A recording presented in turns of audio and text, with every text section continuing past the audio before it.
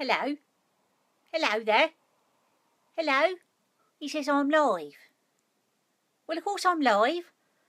I'm live because I'm talking to you. Hello? Hello? Why don't you answer? Oh.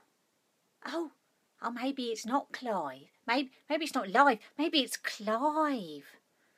Oh, Clive, that's it. Um, Help, Clive, yes. Hello. Hello, I'm Clive. I live down the road from, from Mary in Steeple Bumstead.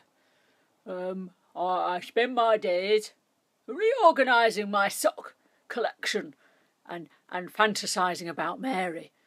May, maybe one day I might have the lustrous Mary all to myself on my mantelpiece in jars. Like a collection of jars, and I'll put Mary in each of them and on my mantel piece.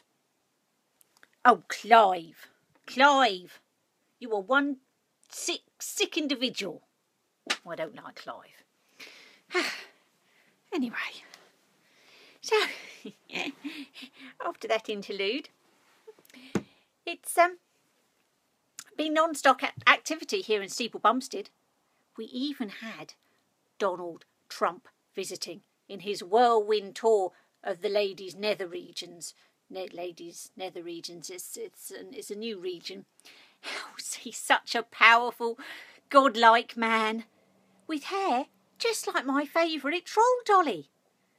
We went on a pub crawl of all Steeple Bumstead's most salubrious haunts. When it was time for him to go, I flung myself at his feet, imploring him to take me back to the US of A with him.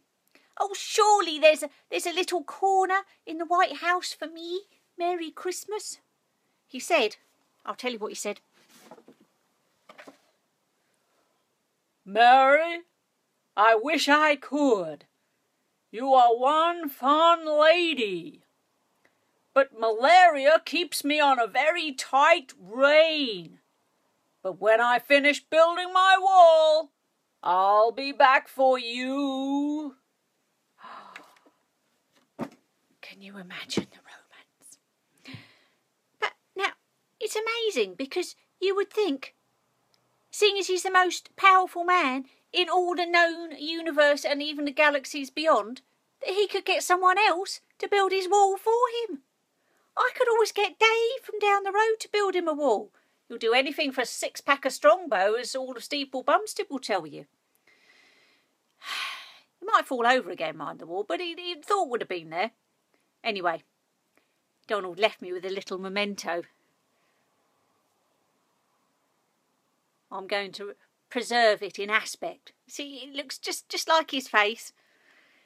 So, I'm still running steep. I get laid here in Steeple Bumstead. I've been doing that for some time now. Now, can you remember our mantra? Can you? I'll remind you.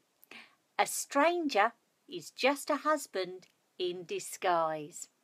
That's right, a stranger is just a husband in disguise.